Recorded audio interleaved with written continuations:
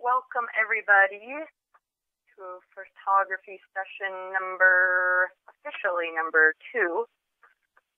We have John with us over at home. Hello, John. Hi there. Hello. How are you? so we're going to start out with just kind of a little review. John's going to remind us of briefly what we went over last week and then what we are going to go into this week. So here's the first slide. You saw it last week, but we're going to review it today. Yeah, we're we're breaking photography down into the buttons and the emotions. So on the buttons side, we split that into three things: shutter speed, which we talked about last week, aperture, which is what we're going to work on today, and ISO, which is uh, the next uh, session. Perfect. And then another little recap slide for everybody. Yeah, if you remember from last week, um, what do you use your shutter speed for, Danielle? Um, to either create motion blur or to uh, have freeze the moving object. Very good. You remember. I've been yeah, thinking so, about it a lot. Yeah, the, the shutter speed is fairly straightforward. Um, you can either blur subjects or freeze them in space. So that one went over pretty well. Um, ISO, which is the next lesson after this one, um, controls how sensitive the camera is to light, and it controls how grainy or how much texture there is in the photo. And today's session is on aperture, uh, which I think I misspelled in all my slides, but we'll look past that. but the aperture will control uh, what's called your depth of field. Um, the depth of field is the, the linear distance in front of the lens that is actually in focus. So on this on this slide, uh, 35 millimeters will have this sort of dial uh, where you can get to your aperture settings. Um, there's also an aperture ring on the lens, which we'll look at in a minute. And on on point and shoot cameras and cell phones, you'll have the scenes, but you won't have the big A probably. Mm-hmm. The A, the A uh, sets the aperture as the, the most the highest priority. And then down on the scenes, there's a couple of scenes that use a large aperture for a lot of depth of field, and that's the landscape mode and Mhm. the macro mode. So do you have those uh, scenes on your camera, Danielle? I do. And I, for my aperture photos that I took, I did use the aperture priority setting. Perfect. Good job. Yeah, All right. You want to show us some of your photos and talk about them? absolutely. Let me make sure I have great ones. All right. So here's the first one. I thought it showed a shallow depth of field the best out of all of the pictures I took. And I know it's not necessarily a row of something, but would you say this kind of shows aperture? It's, it's perfect. It's a it's a great example. You have a shallow depth of field here, which which isolates the, the out of focus flowers in the background from the in focus flower in the foreground. Mm-hmm. So that brings your brings your eye, brings your attention to the in focus part of the photograph. right. Actually, it looks like a greeting card to me. That'd be a good Mother's Day card. No, that was like a block away from my house. I was on a walk and I was like, wow, that is beautiful and it would be perfect for my assignment pictures. There you go. Photography is everywhere you go. It really is. And then so for this photo, too, that, um, I set it, like I say, in the picture at my lowest aperture setting, which is 4.5. And then, so the smaller, and correct me if I'm wrong, John, the smaller the opening of the lens, you need to set the ISO to be more sensitive to let more light in. Is that right? Well, remember the three three um, parts of the triangle there. We've got the ISO, the shutter speed, and the aperture. Mm-hmm. So if you want more aperture, you can either take it from the ISO or you can take it from the shutter speed. Okay. Okay. So in aperture setting, it only allows you to play around with the ISO and the aperture, doesn't it? Um, that varies by camera. Yeah, I think so. Mine just had the ISO and the aperture setting, so I wonder. Obviously, going into full manual mode would allow some more, um, maybe more a little more challenging to get exactly what you want since you're playing with shutter speed and ISO. Yeah, yeah. It, it uh, you know, when you when you change one leg of the tripod, you have to adjust with the others in Mhm. some fashion. Mhm. Yeah, absolutely. So here's yeah my my shallow depth of field picture, and then I have one with a little bit larger. So this is a little bit um kind of a smaller picture, but shows you know rather than yeah just that first flower being in focus, it shows the whole whole garden of flowers, and it was taken with the highest aperture setting my camera has, which is 20 that's about 22. Mm-hmm. Yep, that's a good example of, of how to use a large depth of field so you have everything in focus.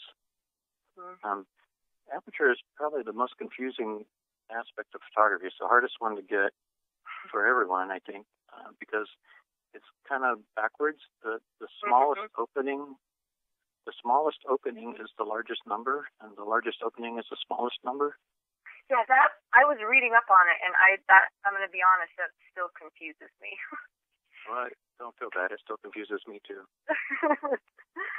Because yeah, in my mind, when I think that I've set it at you know f stop 4.5, that means that the lens is smaller. But is that wrong? Um, the lens is the same size, but uh, the hole through the lens is bigger. Okay, and that itself is the aperture. Uh, I didn't hear all those words. Oh, sorry. So the so the lens, the the numbers referring to how big the lens is open, but then the aperture is a totally different thing than the lens opening. No, it's one and the same. Aperture means hole, and so in the camera sense, aperture is the hole through the lens that allows light to pass through. Mhm. So your camera, you said, starts at 4.5. Mhm. Yep. Okay. I remember last week when we change shutter speed by one unit. We call it units of light. We refer to them as f-stops. Uh So if we if we lower our shutter speed by one one stop, um, it's the same. It works the same way with ISO and with aperture. If you take Mhm. your lens from f4 to f5.6, that hole is effectively half as large, and it's only letting in half as much light. Okay.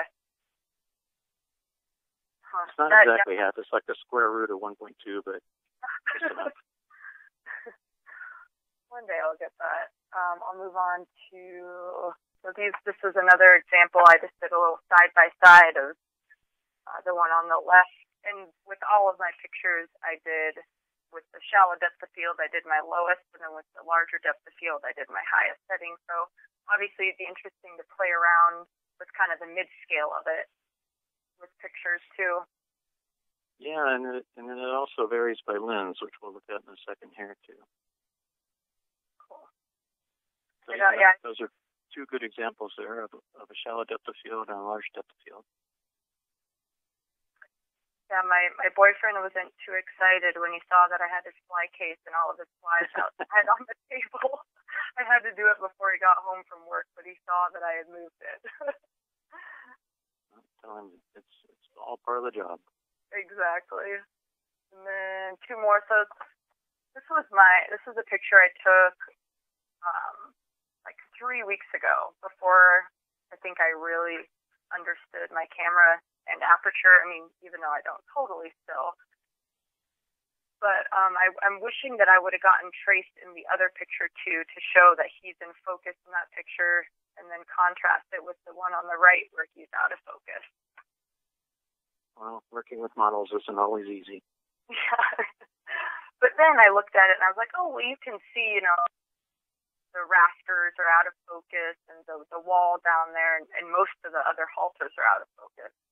And the ones Mhm. on the So if you pretend that the trace isn't in the right photo and then compare the two photos side by side, what happens when you look at a photograph is one thing that attracts your eye is contrast, which means focus. Mhm. So your eye tends to want to go to the thing that's in focus and not Right. go towards the things that are out of focus. Right. So so by learning how to use your depth of field and your aperture, you can start to guide the viewer's eye around the photograph and make sure that they understand what you're trying to, to show and, and describe in, the, in your picture. Mhm. Yeah. So that's another good example. And here's another. Yeah, this one shows.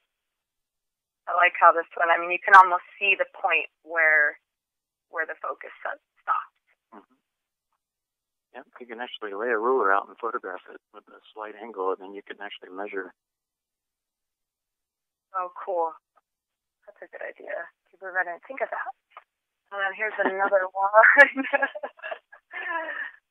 Uh, funny because obviously, you know, the first one's not in focus. The ones further down are in focus, but then the background is totally out of focus. I wonder what was going on with that because I think I had it on the same setting. It looks like maybe your focus ring got turned a little bit. Mhm. Focused a little further away than you were in the previous slide. Yeah. Yeah, but so. Yeah, and, and the fact that they're not perfectly in line, maybe yeah, made the the focus jump to something else. Oh yeah, if you're using autofocus, it'll do that on you. Oh yeah, why have I? That is something that I've been doing. Is it's I've been on autofocus. Do you mostly use manual focus in all your photos?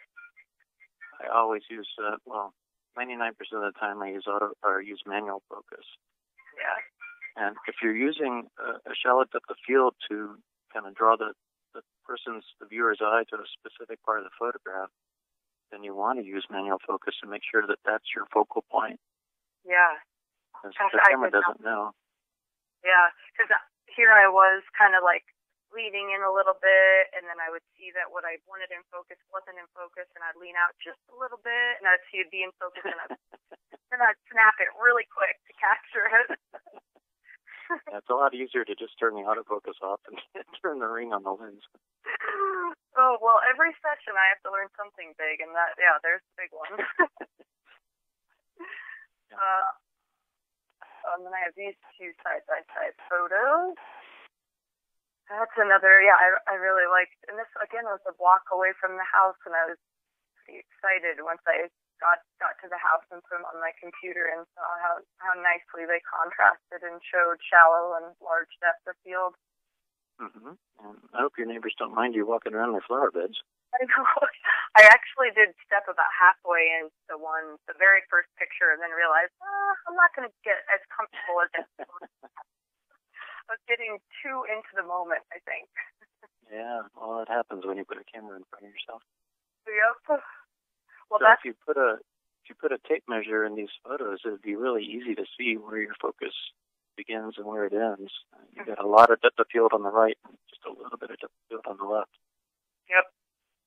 And looking picture? at them side, looking at them side by side, uh, on the left image, your eye has to go to the flower that's in focus. It, your eye Mhm. just won't go anywhere else. On the Yeah. right picture, when you look at that, your eye bounces back and forth between the two different flowers. Yeah. Yeah, and it kind of almost your eye down the fence a little bit too. hmm You've got um, converging lines, or the, the roof and the floor line are drawing your eye to the right as well. Mhm. But we'll talk about that in, when we get to composition. Uh, what picture do you like better? Oh, I, It's- I always hard. like the shallow depth of field. Yeah, yeah. I know it's it's interesting how the same exact thing, but it can be so much more engaging. Um, the one on the left, hmm just with that change. Well, that's Yeah, the the- one. The easiest photo for someone to understand, for someone to figure out, is one that is simple. Mhm. So when you have everything in focus, you have a complicated photograph, and your eye has to move around a lot to read it. When Right. you have a, a photograph where only one thing is your subject is the only thing in focus, it's a lot easier for your your brain to read. Mhm. Yeah. Um, those are the last of my photos, so we'll jump up to the ones that you have of the different lenses. Is that right? Um, sure. There should be. Yeah. That's the right where- first one. Yeah, we can start there. Okay. Um, for people who haven't actually seen a 35 millimeter camera lens off the off the camera, inside of it there are overlapping blades that form the aperture. So this is a 24 millimeter lens looking through it. So starting Mhm. on the left, the largest number, f2.8, is, or the smallest number, is the largest opening in the lens. Huh. And then working towards the middle, f8 is about the middle of the, the stop range. Medium opening. And then f22, where you have the most depth of field, that's a tiny opening in the lens. So it's it's barely letting any light through there at all. So you have to compensate either with ISO or with shutter speed. Wow, that's a great visual for making sense of what you said earlier. hmm So that shows you the, how the opening changes in the lens. And the Mhm. other part, the other part of this that people don't know is that when you're looking through your lens, no matter what what aperture number you have chosen, say Mhm. you've chosen F f22, when you're actually looking through the lens, you're looking at it through you're looking through it with the largest aperture, the f2.8 or f4 on, on your lens. It only goes to f22 when you push the shutter button, Okay. and then it, and then it opens right back up. So whatever the the smallest number is on your lens, that's how much light is coming through to your eye when you're looking through the camera. Okay.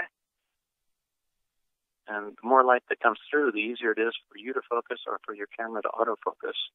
And that's Mhm. why if you take two lenses, say you have two 100 millimeter lenses, one is an f2.8 and one is an f4.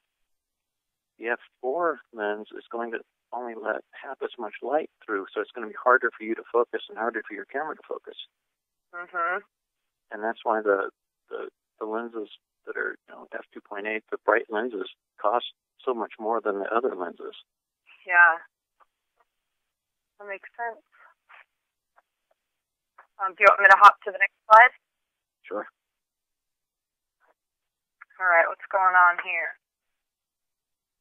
Just to show people, if you're using a, a cell phone or a point and shoot camera, you probably don't have either of these things, but this is a, how a 35 millimeter lens works.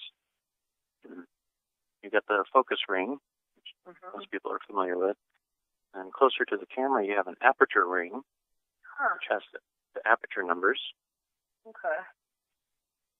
and then in between there are little colored tick marks. Or at least this is how Nikon does it, and how um, Canon does it. Mhm. So if you look at the aperture numbers, you'll see that each one is a different color. Mhm. and then those tick marks on in between the two rings correspond to those colors. So, Okay. so if you look at say F22, it's kind of an orange color. Mhm.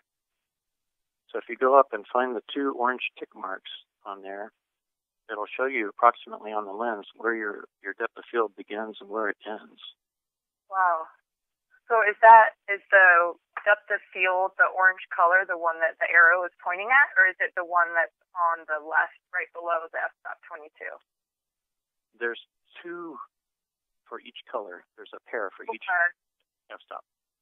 Okay. So there's an orange one on the left end and an orange one on the right end. Oh, I see. I see now. Okay. I wonder if my camera. So um, they've started in recent years. They've been taking the depth of field guides off the lenses. Uh huh. So nowadays, a lot of the newer um, 35 millimeter lenses no longer show this. Hmm. And it's kind of too bad because it's really helpful in some instances. Yeah, I mean that that is it makes things a lot more yeah understandable to have that visual and the, the color guides and everything. hmm So if you look at the orange line on the left, it's pointing to about five feet. Mhm. And then look at the orange line on the right, it's pointing to about a foot and a half, a foot and a quarter.